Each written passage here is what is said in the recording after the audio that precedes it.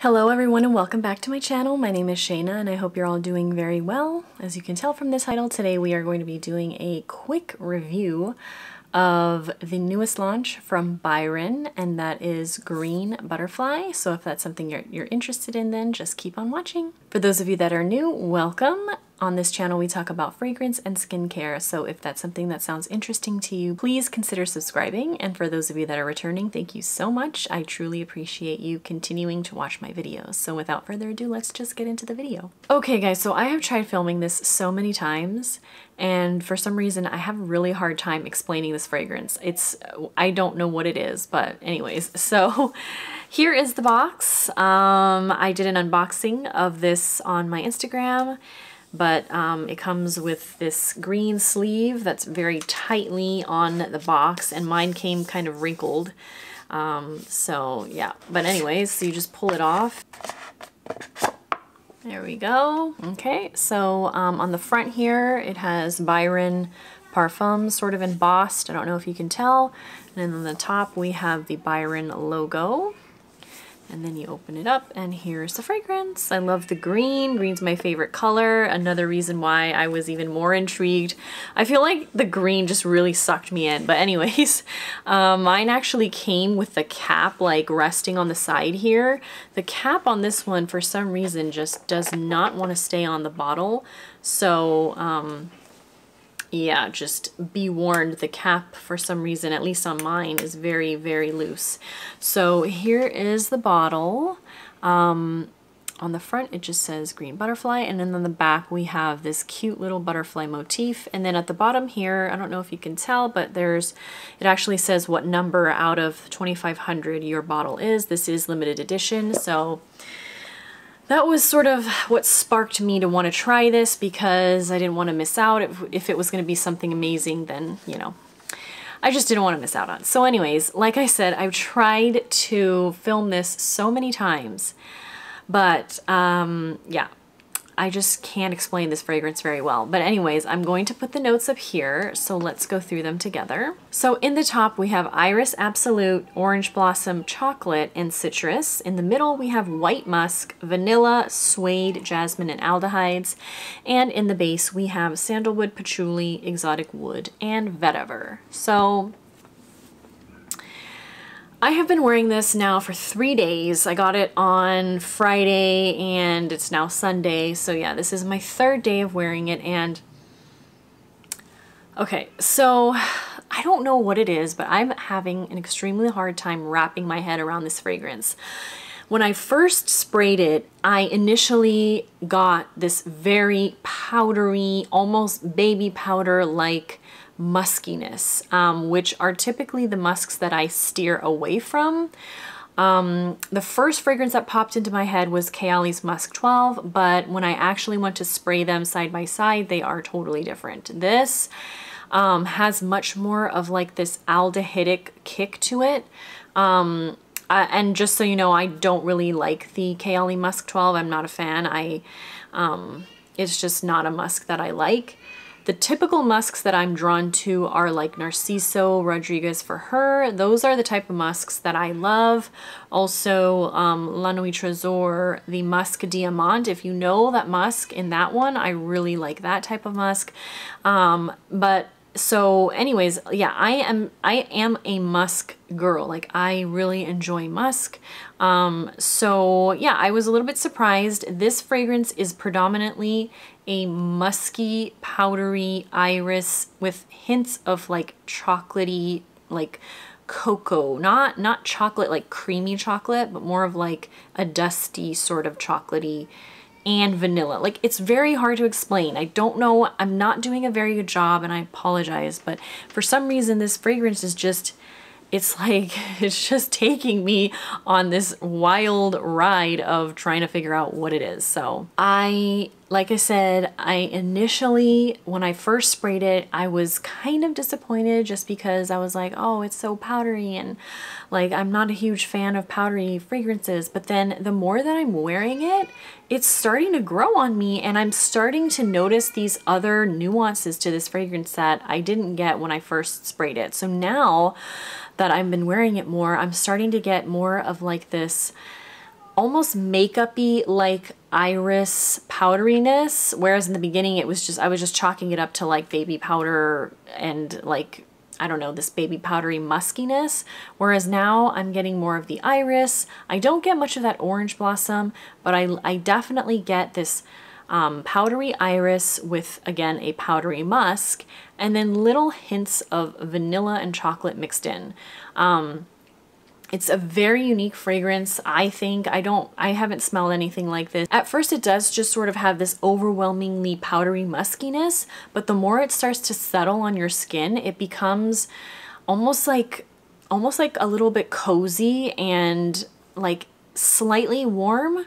Um, it's, it's such an interesting fragrance. I really, it's hard for me to describe. I'm just gonna go ahead and spray it again on this hand so that I can top up I've had it on my hand. I've been, like I said, been filming this so many times and I just can't seem to accurately portray how this smells in words.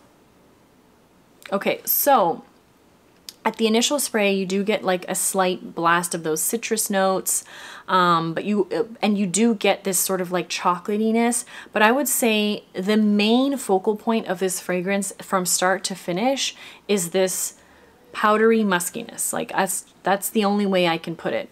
Um, so if you don't like powdery sort of aldehydic musky fragrances, you're probably not going to like this. I'm just gonna say it straight up. But then the more it dries down, I start to get this sort of chocolatey vanillic touch, which I really do enjoy and it, it is starting to grow on me. Um, the sillage on this is absolutely beautiful. When I just go like this, and I get like a whiff of it, it's just, it smells very clean and sophisticated. Like I just think like classy, sophisticated, and just it it almost even has this sort of sensual sort of aspect to it. And it's it also has this sort of air of mysteriousness to it because like I said, I can't pinpoint exactly what this smells like. It's so hard for me. Like I can't say like this smells like this fragrance or this smells like this fragrance or it's like these two fragrances put together. Like I feel like this is a very unique fragrance even though you can tell that it has this powdery DNA to it. I can't seem to pinpoint what this smells like. It's very light in texture. It's not dense and thick like Mula Mula. Mula Mula, if you don't know, is like is a very fruity caramel sort of dense, thick, and sweet fragrance. This is sort of like on the opposite spectrum of that. This is not that dense thickness. This is very like light and airy, but at the same time, it's extremely long lasting. So this is an Extrait de parfum concentration. So this is gonna stick on your skin for a very long time. And I can tell you from spraying it on my hand, I don't know if you can see, but the oil content on this is very high. So um, yes, this is a very potent fragrance. It's gonna last a long time. And the sillage on, sillage on this is actually really pretty. It has this sort of like sophisticated sophisticated classiness to it, this luminosity. It's a little bit sensual. I picture it like just looking very put together and a fragrance that you can wear at all times. I think it's a really nice release from a niche brand because sometimes niche fragrances can be sort of like fragrances you only want to wear for like a certain occasion or like a certain mood or they just give off like a certain vibe whereas this fragrance I feel like is it could actually even be a signature scent like it's it's very sort of um, classy and sophisticated and not leaning to one specific mood. Um, I feel like men or women can wear this. It's not necessarily like specifically for women because although it does have some florals in it, it's not overly, like I don't get a lot of that orange blossom. I get mainly the iris. Um, so it's, I think it's unisex. Maybe leaning slightly feminine, but like very slightly. Yeah, I just, it's, it smells clean to me. It smells um, slightly sweet and fresh. Um, but overall, I'm, I'm just going to try and simplify it because I haven't seen too many reviews of this. In fact, I think the only review up right now is in French. So I am having a hard time because there's nobody that I've been able to like bounce my feelings of this fragrance off of. Like I'm just going in blind with what I feel. And so um, just to simplify it, I feel like it's a powdery, musky, and slightly sweet from like a cocoa powder and vanilla. Like that's how I'm gonna say it. And like it does have the patchouli and the sandalwood and the and the the woods and the vetiver in the base, but I don't get like a ton of that vetiver. It's it's just a very sort of like I get this sort of like ethereal quality to this. It's very um like I said it's sort of like it's sort of like transparent. Like it's not it's not like super thick and dense. I, I'm not really sure if the green bottle is like meant to signify anything because I don't really picture this as being like a green fragrance. This to me just has like this overall a very light and airy freshness to it, but fresh in the sense of like powderiness, not fresh in the sense of citrus fresh or like this is not a laundry musk this is a powdery musk if that sort of helps you um, decipher like which avenue of musk because I feel like there's so many different types of musks. There's like you know, there's like those deep animalic musks, then there's like the powdery musks. This to me leans more on the powdery side because that iris really pulls in and gives it almost like this powdery makeupy iris. But then it's beautiful mixed in with like the, the cocoa and the vanilla. So yeah, like I said, you guys, I know I'm rambling, but it's been difficult for me to sort of wrap my head around what this smells like. But I wanted to get this video out for anybody who is interested in picking this up or um, getting a decant of it at least. I, I blind bought this, which is something that I typically don't do, but there was really no other way for me to try it and I didn't want to miss out on a limited edition. So